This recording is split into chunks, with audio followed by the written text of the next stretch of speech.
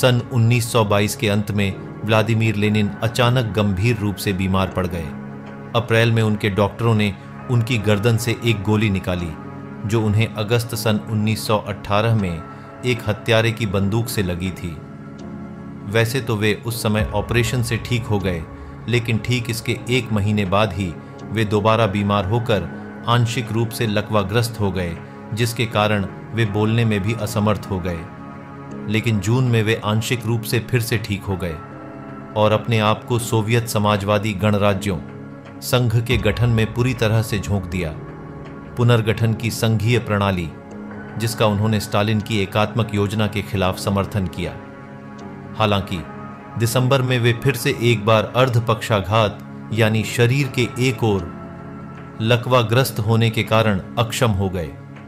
हालाँकि अब वे राज्य और पार्टी के सक्रिय नेता नहीं थे, लेकिन इन सभी बीमारियों के बावजूद उन्होंने कई दूरदर्शी लेख लिखने की ताकत जुटाई और जिसे उनका राजनीतिक वसीयतनामा भी कहा जाता है, जिसे दिनांक 23 दिसंबर सन 1922 और 4 जनवरी सन 1923 के बीच अपने सचिव से लिखवाया था। लेकिन दिनांक 10 मार्च सन 1923 को एक और स्ट्रोक ने उन्हें बोलने से पूरी तरह से वंचित कर दिया। जिसकी वजह से उनकी राजनीतिक गतिविधियाँ पूरी तरह से समाप्त हो गईं।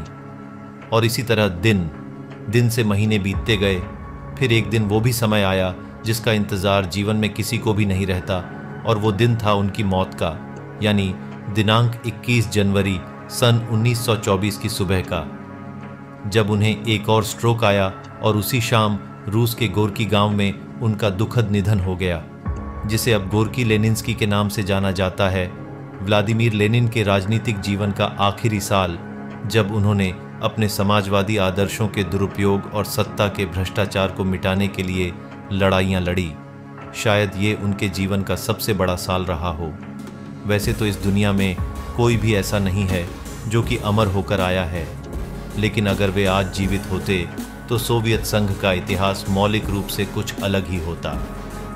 तो ये थी व्लादिमीर इलिच उल्यानोव उर्फ़ व्लादिमीर लेनिन के जन्म से लेकर अंत तक का सफ़र। आशा करता हूँ कि आपको ये कहानी पसंद आई होगी। इसी कहानी के साथ आपसे विदा लेता हूँ।